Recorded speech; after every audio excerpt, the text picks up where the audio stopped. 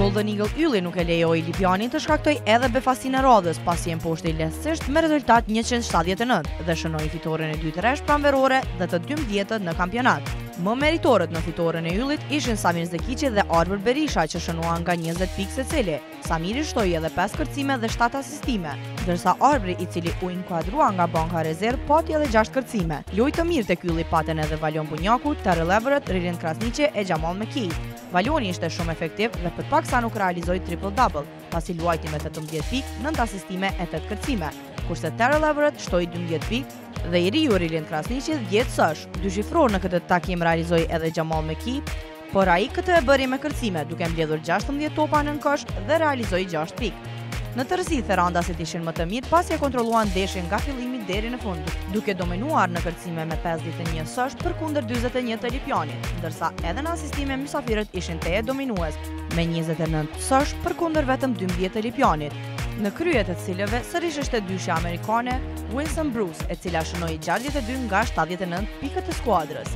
Për dallim nga fitorja kundër Bashkimit në këtë duel, më efikasi ishte Warren Winson me 32 pikë, prej tyre 5 treshe dhe shtoi 6 kërcime e 3 asistime. Megjithatë, lojë më të dobishme bëri Thomas Bruce që përsëri realizoi double-double, kësaj radhe me 30 pikë e 12 kërcime.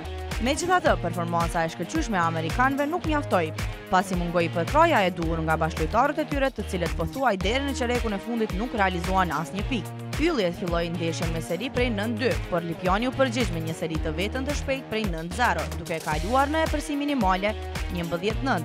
Kjo ishte afatshkurtër sepse mysafirët e udhëhequr nga Valon Bunjaku, i cili realizoi 11 pikë vetëm në këtë çerek, e mori lojën në dorë dhe në fund të çerekut të parë krijoi epërsi prej 8 pikëve.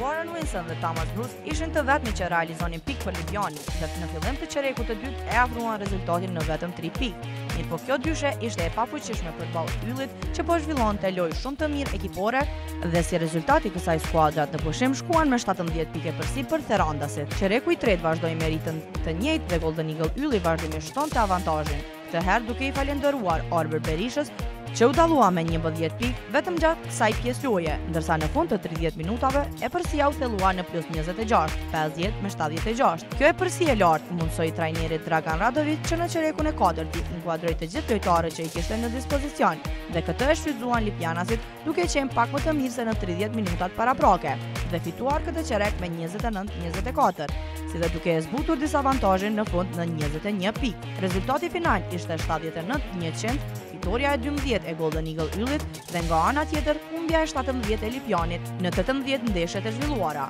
Në vikend Golden Eagle Ylli pret Trepçën në Therandë, ndërsa Lipjani udhëton për në Mizair Isma ku do të takohet me Rahovecin.